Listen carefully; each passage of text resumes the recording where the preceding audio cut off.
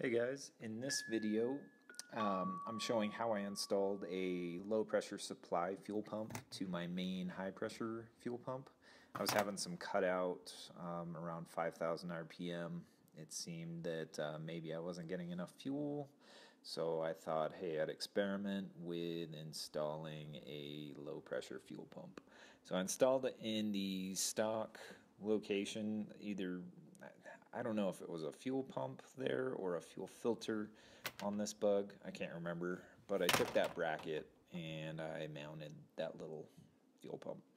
So here I am installing the um, the wiring to the existing fuel pump. So when the existing fuel pump triggers, it turns this one on as well.